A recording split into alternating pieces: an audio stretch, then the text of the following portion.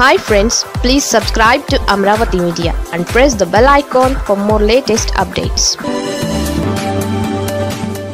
జగన్తో రఘురామ మాట మంతి ఏం చెప్పారంటే ఏపీ అసెంబ్లీ సమావేశాల వేళ ఆసక్తికర పరిణామం చోటు చేసుకుంది.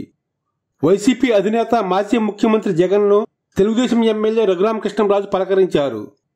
ఉప్పు నిప్పు మాదిరిగా ఉన్న వీరిద్దరూ మాట్లాడుకోవడం ఇప్పుడు ఏపీ రాజకీయాల్లో హాట్ టాపిక్గా మారింది.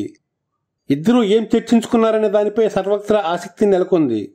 అసెంబ్లీ సమావేశాల ప్రారంభానికి ముందు రఘురామకృష్ణరాజు స్వయంగా జగన్ దగ్గరకు వెళ్ళారు ఆయనను పలకరించారు.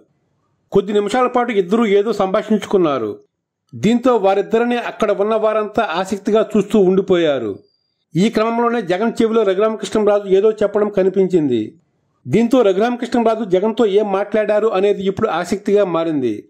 అసెంబ్లీకి హాజరైన వైఎస్ జగన్ పక్కన అధికార టీడీపీ ఎమ్మెల్యే రఘురామకృష్ణంరాజు కనిపించారు. అయితే వెంటనే రఘురామ ఆయన్ను పలకరించారు. వీరిద్దరూ ఏం మాట్లాడుకున్నారో తెలియదు కానీ కొన్ని నిమిషాల పాటు మాట్లాడుకున్న తర్వాత వీరిద్దరూ తిరిగి యథావిధిగా గవర్నర్ ప్రసంగం వింటూ కనిపించారు. దీంతో ఈ దృశ్యం చూసిన వాళ్ళంతా నూరెళ్ళ బెట్టక తప్పలేదు.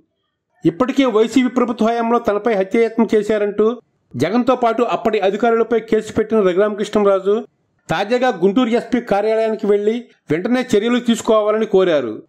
ఈ నేపథ్యంలో అసెంబ్లీలో జగన్ కనిపించగానే రఘురామకృష్ణరాజు ఆయన వద్దకు ఎందుకు వెళ్ళారు? ఏం మాట్లాడారు అన్న దానిపై చర్చ జరుగుతోంది. ఇప్పటికే కూటమి ప్రభుత్వం తనకు స్పీకర్ లేదా మంత్రి పదవి ఇస్తుందని ఆశించిన రఘురామకు నిరాశ తప్పలేదు.